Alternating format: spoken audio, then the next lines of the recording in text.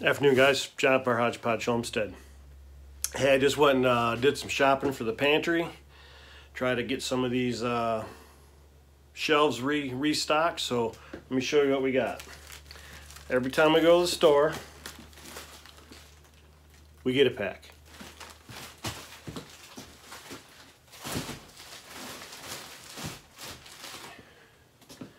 All right, can't live without that. Well, you can. It'd just be messy. All right, every time I go to the store, we try to get a pack.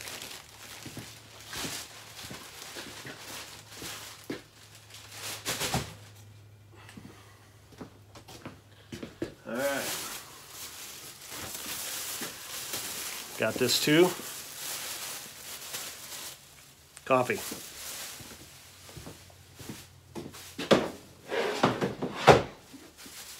Rich and smooth. Another thing I've told you guys before that uh, we always try to have on hand is uh, cheesecloth. Works for a lot of things. Cheesecloth. Another one of those great proteins, peanut butter.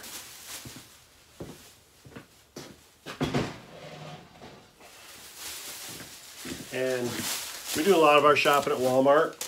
We've got several other stores we can shop at, but Walmart is reasonable. It's uh, priced right. Believe me, I've done a lot of price checking, and you know I understand Walmart's uh, ethics with their employees isn't always the uh, the greatest, but you know what? The way I look at that, they they choose to work there. If they want to work at Walmart, they can work at Walmart, and uh, I'm proud of them for working.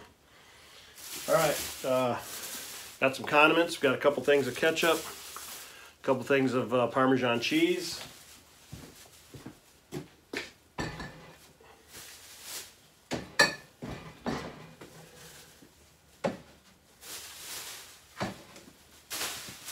I should have bought the big cheeses. Okay.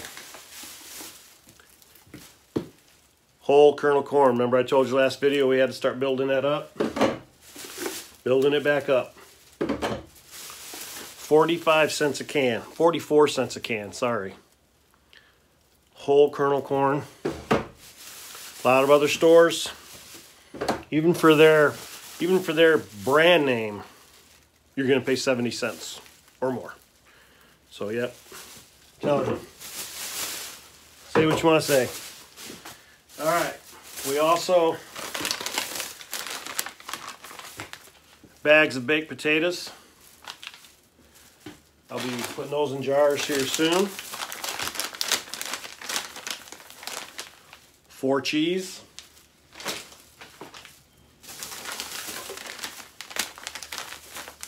Roasted garlic. Okay, um, cream and mushroom soup. It's a staple in our house. 44, I think uh, 52 cents a can. Maybe even been cheaper than that. Can't beat it. Another thing we got today was a thing of vegetable oil.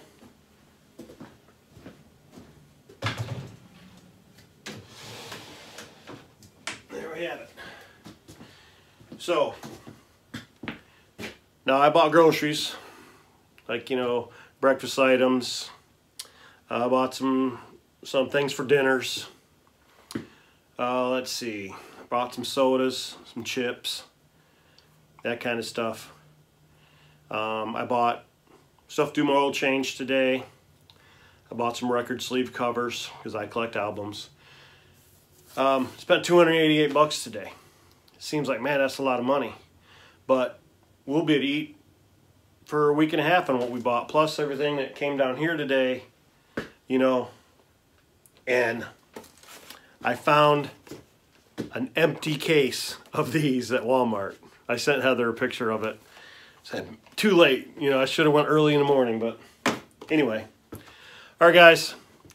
Um, put a thumbs up or give me a comment if you like this type of video.